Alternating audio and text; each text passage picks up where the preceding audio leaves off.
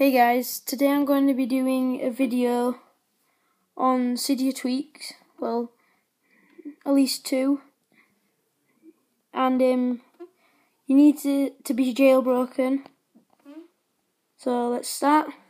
First of all, you need to open up Cydia.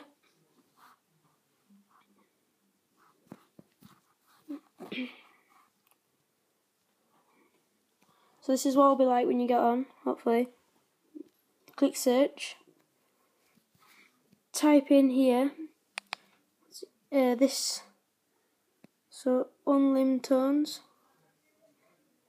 just ignore that, unlim tones, search it.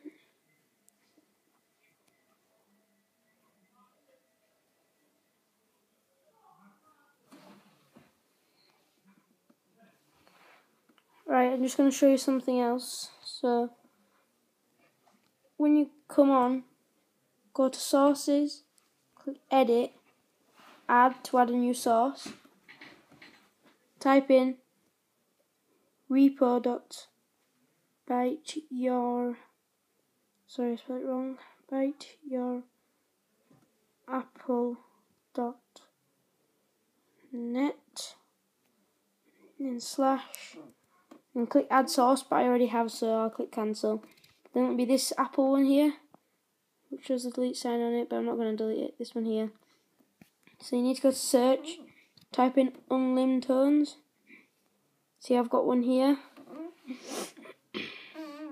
So I've got a little bit of a cold.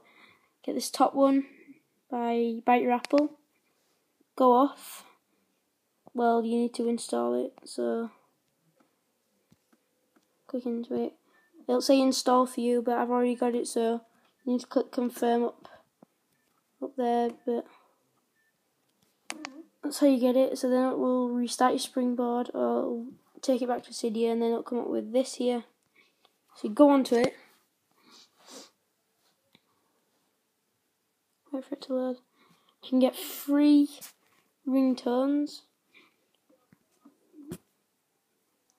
So I have, I'll just put faded. So you can